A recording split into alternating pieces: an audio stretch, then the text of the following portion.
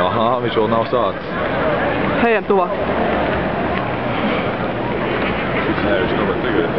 Tas pieskans. Es šodien, zin kā, mēs, mēs ar to Agnes sēžam, cipa, un uh, tur kaut kā esmu nenormāli izsaltis.